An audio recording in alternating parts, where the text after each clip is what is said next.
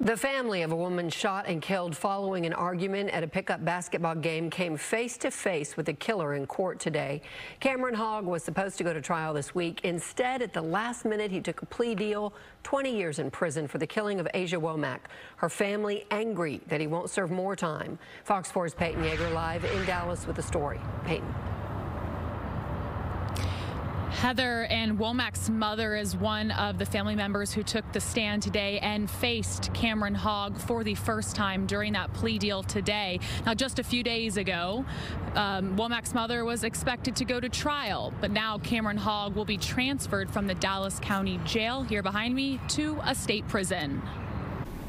Inside a Dallas County courtroom on Thursday. Look at Asia. Andrea Womack wanted this poster of her daughter, 20 year old Asia Womack, to be the final image Cameron Hogg saw before he starts his sentence in a state prison. And 20 years is a slap in my face.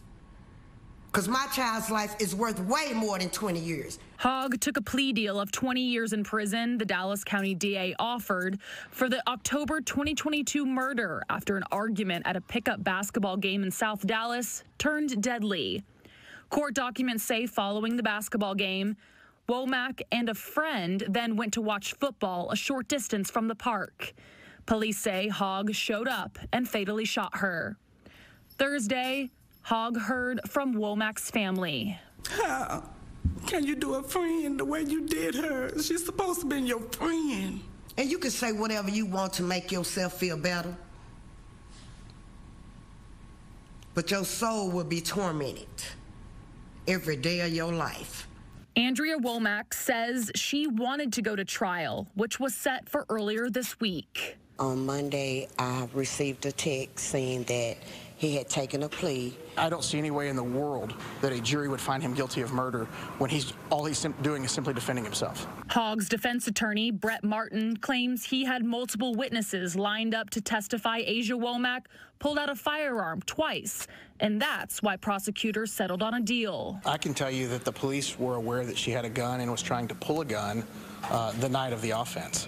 In fact, one of the witnesses who was going to testify in the trial, his name was Robert Walker, mm -hmm. uh, he told the police that night that both of them were reaching and he was just faster than she was. Fox 4 asked the DA's office about the defense's claims, plus any statement on how prosecutors settled on 20 years.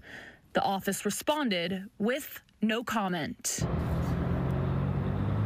Now, prosecutors were pushing for 50 years in this case. The defense started at 10 years. Hogg does have an extensive criminal history, including robbery, family violence, and aggravated assault. So, again, the plea deal landed on 20 years.